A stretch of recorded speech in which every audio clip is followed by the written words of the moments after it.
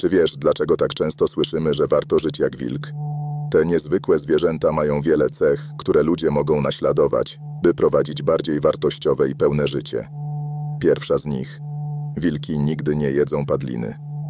Dla nich liczy się świeży pokarm, co symbolizuje życie pełne działania i unikanie pozostałości po innych.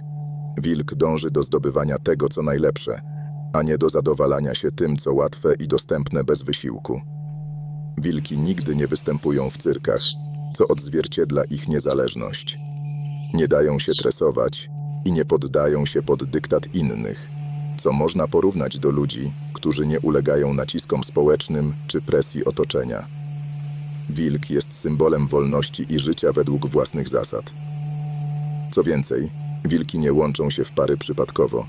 Zazwyczaj tworzą związki na całe życie z jedną partnerką, co podkreśla ich lojalność i oddanie. Jeśli jeden z partnerów zginie, wilk opłakuje go przez długi czas, czasami nawet przez rok. Taki głęboki żal i szacunek do więzi to coś, czego my, ludzie, często możemy się od nich nauczyć. Jak budować trwałe, silne relacje oparte na zaufaniu i lojalności. Ale to jeszcze nie wszystko.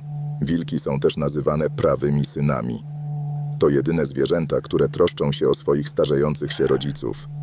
Kiedy starsze wilki nie mogą już polować, młodsze członki stada dbają o nie, przynosząc im jedzenie.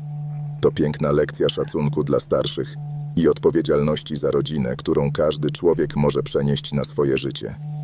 Wilki mogą nas wiele nauczyć o lojalności, wolności i trosce o bliskich.